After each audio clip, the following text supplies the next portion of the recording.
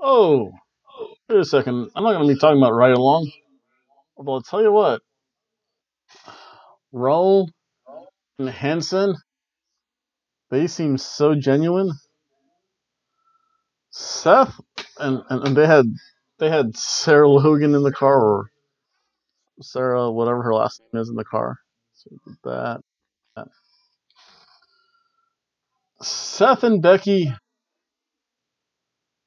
Gee, it just seems scripted though. It's like watching Monday Night Raw stuff. And talk about Monday Night Raw. This time, let's see. I'm going to back up a little bit. I'll try not to squeak my chair as much. Hopefully, you won't pick it up that much. Let's talk about some Monday Night Raw. Um, it was like it was one of those roller coaster Raws. The good was really good and entertaining. The bad was so let's let's get to it, folks. It starts off with a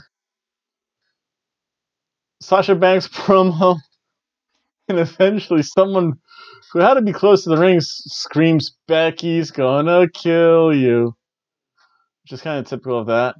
Um, then Natalya jumps her. And Natalya's wearing like Natalya actually looked pretty cute for a change. Her wrestling outfit doesn't do her much justice, but when she wears like normal human clothes, she looks good.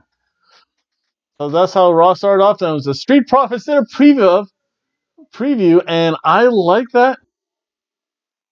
It gets me excited for what's happening. I can kind of plan stuff. So when, when they say this match, I'm like, oh, I can go take a nap, or I can go cook dinner, or, or, or I can do something else. But I'm like, oh, Cedric Alexander versus Cesaro? Intriguing. Yes, I did get a little haircut there. A little bit trimmer. Uh, for other matches, I'm like, tag team turmoil. What? War games. What? Can't do the Adam Cole baby face as well as I thought I could. Um, so, uh, so the first match starts off um, for a King of the Ring qualifier. It was Ricochet versus Drew McIntyre. Drew McIntyre has to learn there's such a thing called hubris in wrestling. And that hubris is if you touch and or around the title or because it's King of the Ring throne, that was your King of the Ring moment. So as soon as I said that, I'm like, oh, I know, I know how this match is gonna end. Well, let's talk about match a little bit. Um, Ricochet is definitely the faster of the two. Drew's just powerful. He's his, he's being built up as a powerhouse. He just tosses poor Ricochet around like a rag doll. Um, eventually, he did catch Ricochet, did an amazing backbreaker. First onto the guardrail. Well, actually, he caught him, repositioned him for a backbreaker, did the backbreaker on the guardrail. Good. And then he held on to him and did a backbreaker onto the second hardest part of the ring, which is the ring apron itself, because the first hardest part of the ring are the turnbuckle posts. I, I don't believe what, what they say. I, I go by this guy, Hobo Tom knows. Uh, so with that, I mean, that was amazing. Then they went to commercial break. Um, Ricochet did catch Drew, though. Uh, he, he hit a Northern Lights suplex, but he could not roll through. Drew's too powerful for that. He levels Ricochet. I mean, he had that one headbutt shot. Ooh! Like Ricochet came jumping off the ring apron, and and, and Drew just went ugh into the Glasgow kiss. She's a Scottish headbutt. So I mean, I'm definitely thinking the Scottish headbutt is the most powerful headbutt, even more so than the Samoan headbutt. Wow. Uh, let's here. What else was this match? Again, Ricochet was more innovative with his moves. It felt fresh. I mean, he he tried to do that one thing he and um that one flippy moon, running moonsault thing from the apron to second rope to floor, but Drew moved out of the way.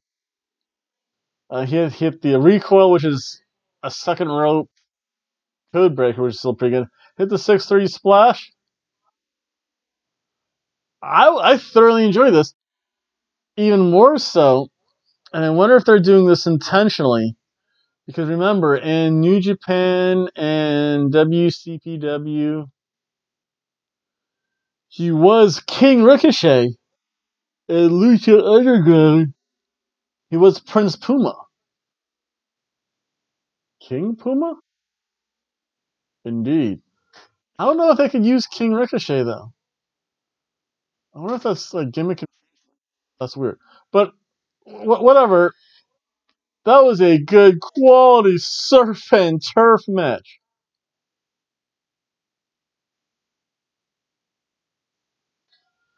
Then there was Seth and Braun Strowman. They did kind of a recap and a promo together. Braun still eyeing that Universal Championship belt. It's okay. Then the second qualifying match was The Miz versus Baron Corbin. This was shorter. Um, the Miz starts off strong until he goes outside the ring. Wrestling and beating people up outside the ring is not the Miz's strong point, nor is trying to do fly flippy stuff. Miz, don't. Just don't. Uh, then commentary. I think the one thing that took away from this match, and it was lacking last week, but there was way too much arguing involved between Corey Graves and Renee Young. When Vic Joseph was there, he seemed to do more of the color commentary, but there was less commentary back and forth yapping. So it seemed, or at least last week, it seemed more organic. Uh, Again, it just felt more scripted. Like like they want to do this. They they want to show themselves off versus what's going on in the ring. Hey, that just might be me. Yeah, and you can always leave, feel free to leave a comment or even email me me about that. And you'll see that graphic later. They didn't make a graphic a long time ago. Uh, so the then they went to commercial break. Again, you kind of lose a lot. Uh, let's see here. Oh, Corey Graves said that, that the Miz was in the Sharknado phase of his career. That made me laugh. Uh, Renee was looking forward to the Miz winning. Yeah, whatever. Miz always misses that last yes kick, though. That's becoming more and more pronounced all the time that I watch him wrestle. Baron Corbin, to his credit, kicked out of a skull crushing finale, which we haven't seen the Miz use in a while. He's been using the figure four more and more. So it's different. Uh, it's not. It's not. It's not as protective finisher. Um, the Miz eventually runs into the end of days, like a swinging Sister Abigail type thing. It's, it was an okay match. It was like a cheeseburger match.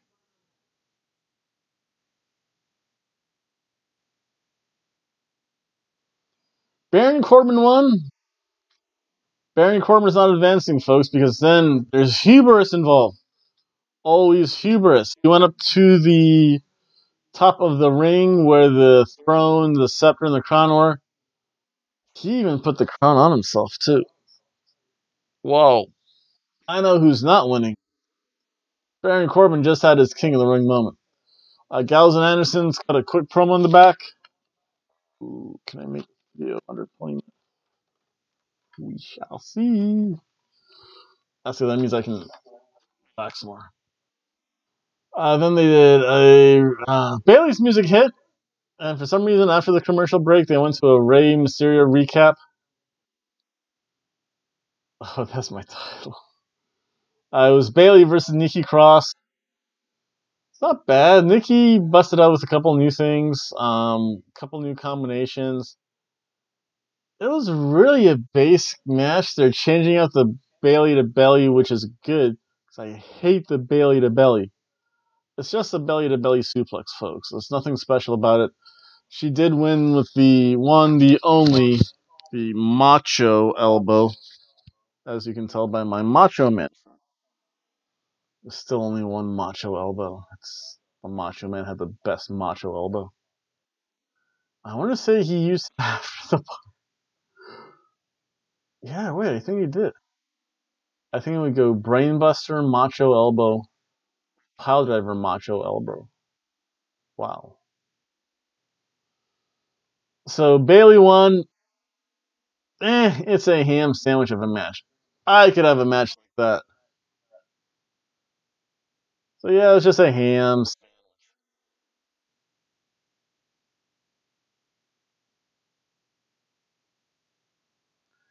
Then there was tag team turmoil. And uh, this is like the tag team version of a gauntlet match. Starts off with the Viking Raiders versus the B team. Gee, I wonder who's winning this. Although the B team, I'll give them some credit though. I'll give, I will always give credit where credit's due. The B team at least put in more offense and gave you that slightest hint that they could actually give the Viking Raiders a match. Again, they did all the, all the right things. They they isolated the tag team isolation. Viking Raiders are too much. They isolated um, poor Bo Dallas. Needs to be with his brother, Fiend Junior. Um, this whole thing, I'll, I'll, give it a rating, but this this single match was, was a can of soup.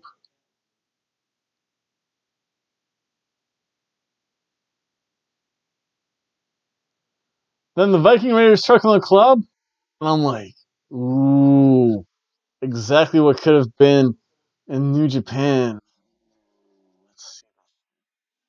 And it was okay.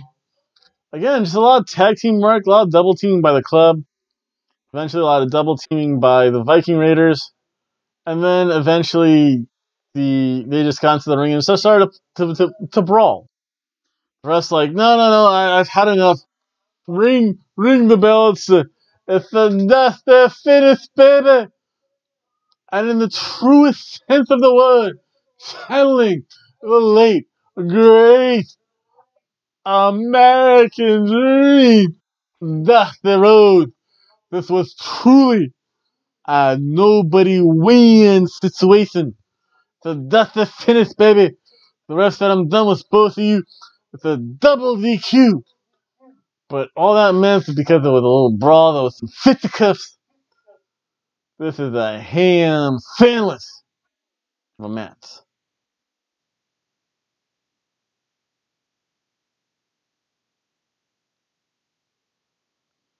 And so the next two participants they had to show up because two teams had to show up. It was Robert Roode and Dolph Ziggler takes on the Lucha Lucha House Party. They didn't do the Lucha House Party any. They didn't any. Oh, what's that word I'm looking for now? They didn't do Lucha House Party solid. Mainly because most of the match was spent in commercial. You saw again the classic flippy stuff. Then Robert. Who was it? No. I think Dolph actually picked up the win in this. No.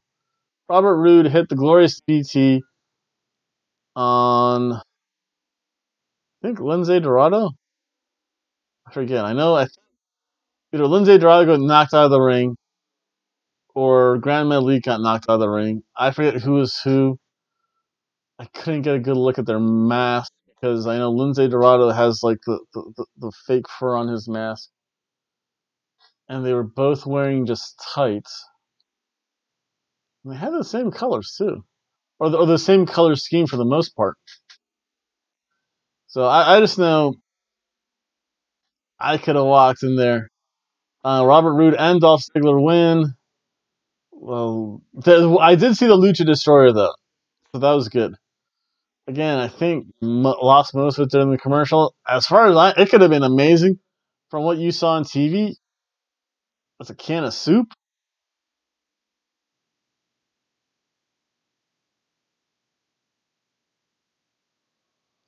Then it was Robert Roode and Dolph Ziggler versus the Revival. It was, it was a bad ref spot. The ref was obviously on the other side of the ring. They went for a lot of technical wrestling, which I do thoroughly enjoy. That was a real high point of, of this entire match. Um, the ref was out, out, of position. I can somewhat forgive that because even commentary called him on that. Uh, great technical wrestling, though. Again, classic tag team. I mean, Robert Roode and Dolph Ziggler look like they've been doing this for a while, mainly because of the way that they coordinated their tags. They did their double team moves. Again, this, you always have that dastardly distracted double distracted ref, and I'm going to punch him, give him an extra punch or an extra kick. Uh, Dolph ate a lot. He ate the slingshot from the revival. Uh, I think they were they gave props to Randy Orton for teaching him that. But whatever though, this is really fun again. Really fun match. A lot of tag team wrestling. The way old school tag team wrestling used to be. Robert Roode and Dolph Ziggler go over in a cheeseburger match.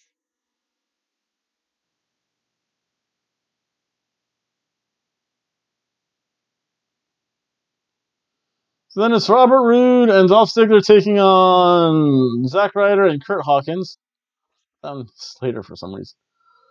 Again, it was quick.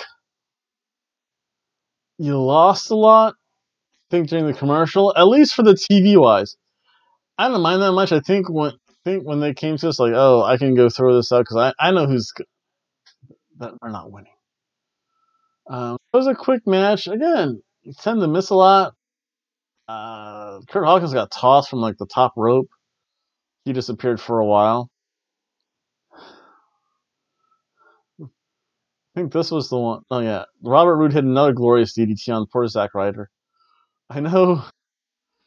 To to win the other match, he really grabbed like like fifty dollars of his seventy five dollar trunks because he just like saw straight butt cheeks. Safe YouTube way to. Again, so I mean, this was a uh, I, I don't know what I missed. It's a can of soup.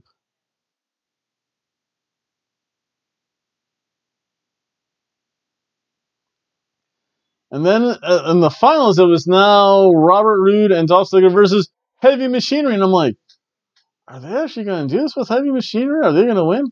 Again, it suspended my disbelief in wrestling. And oh, wow. Renee has to come up with some good lines. I'm stealing your line. But she goes, make mama's dreams come true. Whoa, Renee need to tranquil a little bit. But it was fun. Um, uh, Tucker goes after both Robert Roode and Dolph Ziggler. Again, the pass off suplex is amazing. A night event, Tucker Knight eventually does get low bridge when he tags back in. Again, with this match, it's really good tag team action, really good tag team work. It's so hard when you see tag teams don't act like tag teams and now you have tag team that act like a tag team. It's really good and entertaining. Uh, Otis, Otis is just fun, dude. Otis, Otis, uh, hits the caterpillar, or I think he was teasing going for the caterpillar. He does a double splash a lot. Otis just seems cast in these matches. He's like the ultimate warrior in that regard. He can only go for like three minutes because because all of his antics like takes up all his energy. But uh, eventually, Heavy Machine tries to go for their finisher. Dolph Ziggler gets in the zigzag. I think Tucker Knight eats 10. I, I can't complain. It was a good cheeseburger match.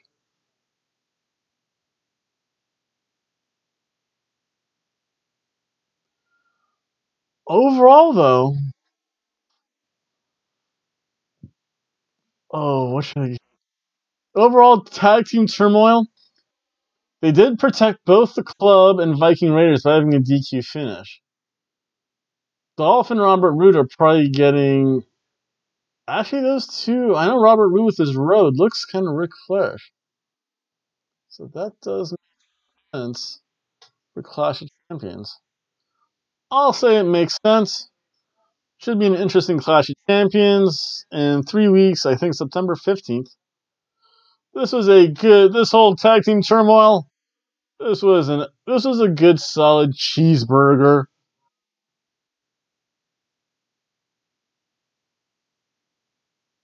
Of an event.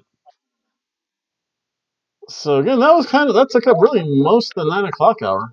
That was a good. I'll say at least forty minutes or so. So the next match we have, uh, well, actually, it was a Roman Reigns recap, and that followed up by a Total Divas preview. See the excitement. See the smile. It would be terrible. It would be interesting from a terrible point of view just to watch Sonya Deville's segments, especially when it comes with Mandy Rose. Because you know there's going to be those R rated situations, I think. Maybe.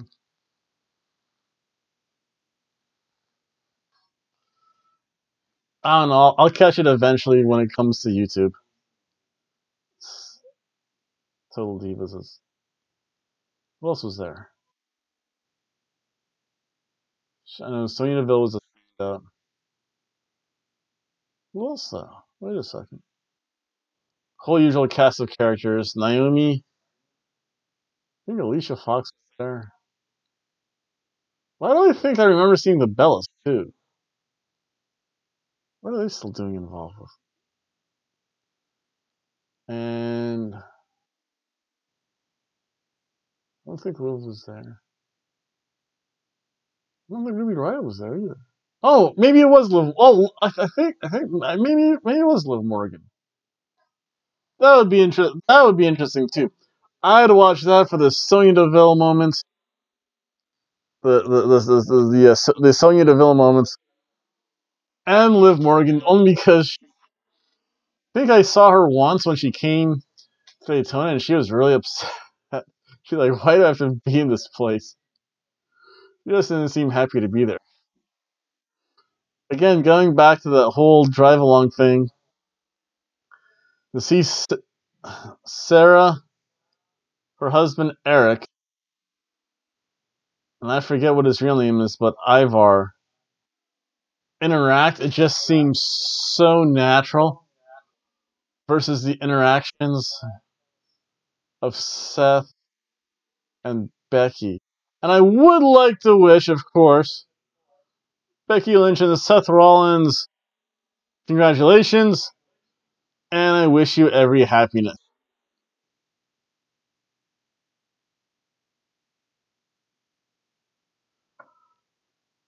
Just based on their drive along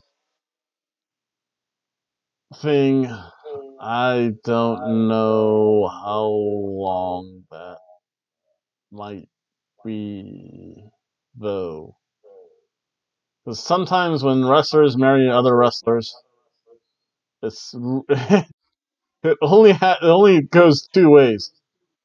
It's either really good or it's really bad. So then the next match was Natalya versus Sasha Banks. Uh, I don't know. This was an okay match. I hate to say it, but these two just don't do it for me. And I don't know what it is, but it wasn't. I don't know why I should complain too much, but I don't know. Sasha Banks was never my favorite. She always said to me had a bubble butt, which is probably terrible to say, but it's the truth. Um, Natalya in her ring gear, I don't know. I just she seemed better. She seems more natural in natural clothes. Maybe that's what I'm looking for. The word I'm looking for. But it just was one of those things where it's like, yeah, oh, that's what I want. And I'm trying to do like another thing quickly.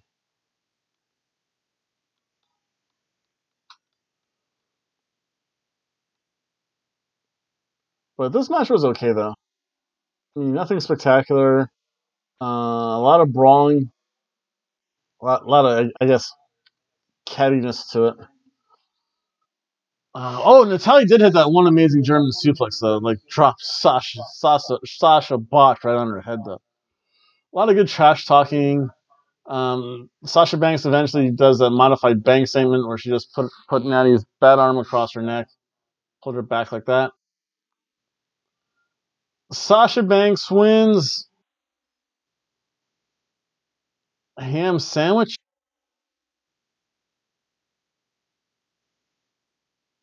Of a match. Again, I'm just not a fan of it. I try to take myself out. I mean, Sasha Banks, she has to learn to adjust the top of her pantyhose. I saw a pantyhose top. But here she pulled up. It's glorious DT on Sasha Banks and pull up 50 bucks of her $75 shorts. That would have been interesting. Um, pantyhose. That just sounds funny to say every so often. Then there was an AJ Styles promo. Say it, AJ. You could almost almost tell AJ was gonna curse and go all New Japan on us. That would have been glorious. In his case, it would have been phenomenal. But he caught himself before he could say, I think, just bullshit, too. Wasn't that bad of a word. Um, then the next match, oh, this was amazing. Cedric Alexander versus Cesaro. Cesaro has the, the best looking European uppercut of anyone. It's so smooth, it looks so vicious. Best European uppercut ever. Uh, so strong, Cesaro. He can just catch Cedric Alexander. Cedric can fly, though. Fly, Cedric, fly. Uh, the fun splash to the outside. Uh, Cesaro was against the ropes. Cedric had the fun splash. Sent them both careening through the ropes. That was amazing. Cesaro begins to work over Cedric's legs. He's like, you know what? Only way to ground this high flyer is to go after his legs. Cesaro's so good. That's suplex. That's superplex he hit. That was awesome. And he does a half crab. I like old school moves like that. Oh, that's just the way I am. Cesaro's. He busts out so many submissions. He had the, the half crab, the ankle lock. He uses the sharpshooter or the figure nine or, or reverse figure four, whatever they call it nowadays. Uh, Cesaro did. Oh, Cesaro got caught into that lumbar check, and he sold like a pro. Cesaro, we're not worthy. We're not worthy. We're not worthy. Cesaro should be king. King Cesaro sounds okay. Again, having Cesaro versus Samoa Joe, that was tough to watch. You're like, I don't want either to win. I don't want either to lose. They should have had it. That's the finish. That's the way I would have done it. From up high. Yeah. Um, so again, that was an amazing match. This is uh, Cedric Alexander wins. Again, a surf and turf match.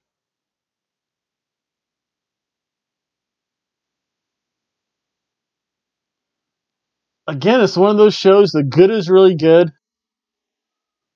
The not so good is not good. I don't know how else to put it. Uh, then we go to a video package showing that they were at the Fox Studios. Elias was there. Elias gets rolled up by R-Truth because Drake Maverick's expecting him. R-Truth rolls him up.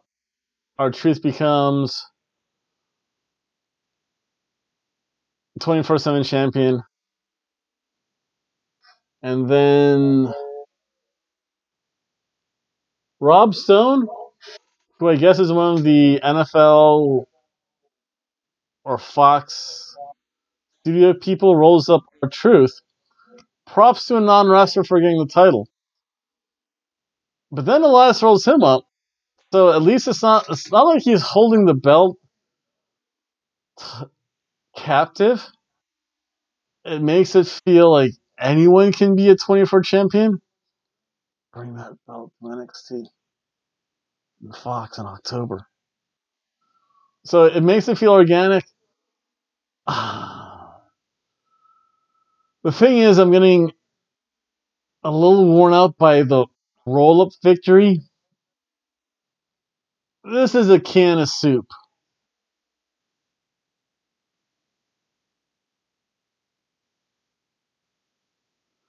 Then there's a Dolph Ziggler Robert Roode promo. And the Street Profits are also in the back. Dawkins looks like he's enjoying himself way too much on Bourbon Street. Mon chéri. Do I still have that queen here somewhere? I, I, I used to have a Mardi Gras. Did I give it away? Wait a second. Did I give it away? Uh oh.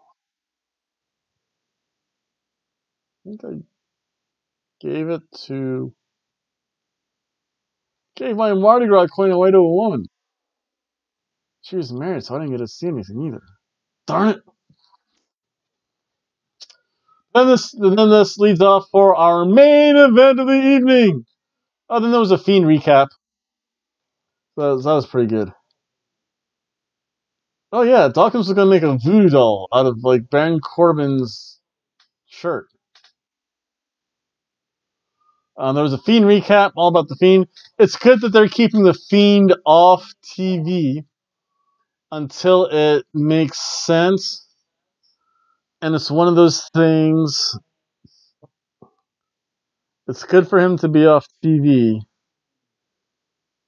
It gives him this aura, I guess, of ooh, he only comes out something special's happening. So they're not overusing that, which is pretty good. Then it was time for the main event of the evening. The phenomenal one, AJ Styles versus the monster among men, Braun Strowman. And this was a fun match for the U.S. title. And I'll tell you what, Braun tosses AJ around. AJ seems to be enjoying being tossed. Eventually, he does. He did reverse one toss, puts the sleeper. Then he starts to go after the knees of the bigger Braun Strowman. And I'll tell you what, AJ Styles is so good though. Um, he knows that whenever Braun was, he had, he had to get him. And jeez, that was just a powerful. That was that was a vicious kick to the head too. That looked like it had some some stank on it. Um, AJ Styles held the one Braun shoulder tackle like it was a rainmaker. It was perfect. Um, this is some New Japan AJ Styles. Braun Strowman inadvertently runs into the referee, causing the, the refs to go through the ropes. He's out. AJ Styles smart. So Braun. No, wait. Uh, so the, the the ref's out. Braun grabs AJ Styles, and AJ just goes right for the eye. rakes the eye, then kicks Braun right where it really hurts the man. Yes, that's a good way. Um, eventually, Braun does recover because remember, he is the monster among men. He is down there for a while. He power slams AJ. Ref still out though. AJ smart. AJ knows ref is out. I'm getting a chair. He just starts wailing Braun Strowman with the chair. Uh, eventually, Braun Strowman gets the chair away from AJ, pummels AJ a little bit. The club come running down because ref's not there to see him. Again, smart New Japan move. They they try to beat up Braun a little bit. All you know is that they, they try. The ref was really good in selling this because he just knew he was out. He heard a chair shot. AJ Styles was flat down. Braun had the chair in his hand. The ref's like, You have chair. I heard chair. You hit AJ with the chair. I see it. I heard it. Ring the bell. And we got ourselves a DQ, and AJ Styles had the biggest smile. A la Eddie Guerrero type fake ring, chair shot sell. Braun Strowman was beside himself. He's like, I lost. I didn't even hit him. And then he says, like, well, I might as well hit him. Whap to AJ. Whap to Luke Gallows. Whap to Karl Anderson.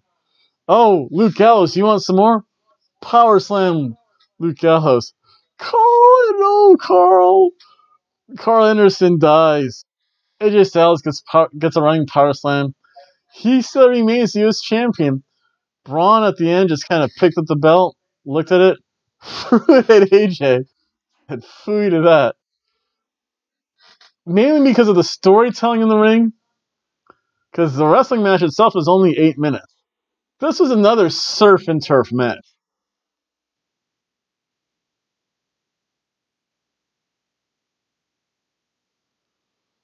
And it has to be one of those reasons. AJ Styles is just so good at storytelling, especially in the ring, especially when he's allowed to go back to New Japan. AJ Styles. Oh, I should put that in there too. Maybe Hobo dream come true in New Japan. And I have to write that down or I'll forget about it. In New Japan Pro Wrestling style. And that was Raw. Entertaining as usual. And let's see here. Um, let's see here. There was one important text message. Let's see here. Uh oh. So hopefully I will be able to do my reactions this Saturday. Because here we go. I love you, Mom. Uh, let's see here. Please check your inventory. Wait. For hurricane supplies. Yes, because I guess here in Florida we get hurricanes. And you know what that means, folks. Multiple three liters of cola. Bubba Cola, I'll give you your shout out from, from Big Lots. A big jug rum and cheesecake mix. Oh, and I have to get cheese put bags too. Shoot. Is that a belt? I didn't even know I had a belt. It's pretty cool. Well, that was Raw. So, um, barring any storms or really bad stuff happening, that's not supposed to happen this weekend. So Tuesday is going to be SmackDown. A SmackDown recap. Probably Friday. I'll do my uh, Dr. Tom Dr. Tom over and he can give you his predictions for NXT and All Elite Wrestling. Because then Saturday's going to be a busy wrestling day. I just realized that. It's going to start off for me at 2 o'clock, so you can see this guy, Hobo Tom, here at 2 o'clock to talk about Cardiff Uh, NXT Takeover Cardiff. It should be fairly interesting. That's uh, two to six. That's only four hours. And then I get an hour and a half break, and then 7:30. It's going to be all elite wrestling for All Out. I'll try to make something for that. If not, we'll just see the visage of Dr. Tom. And that's the show for today. Wow, oh, longer than I thought it would. Again, if you do, if you can, you can go to YouTube or be a network network subscriber. Don't pay for it. Oh. Oh, text message. Which one? No, which one? Not not which one. I hate. I do that all the time. Uh, the one this Saturday.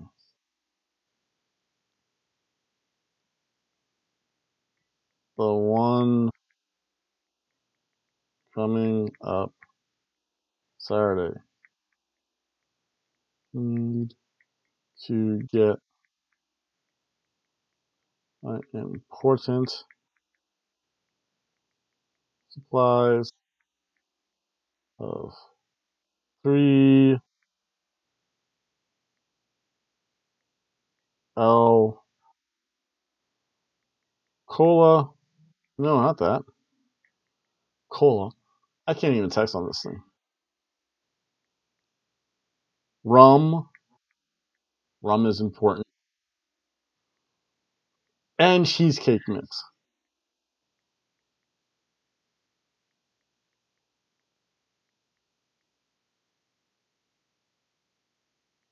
Oh. And chispa bags. Shoot, that's right. I have to be you very judicious. How do I do that because I heard a nasty rumor where I work. We don't get paid till the end of the semester. That's, that's no bueno. Means you'll see Hobo Tom at your lo- lo- local neighborhood Walmart. And I'll wrap that up with that. Everyone have a good night. Bye.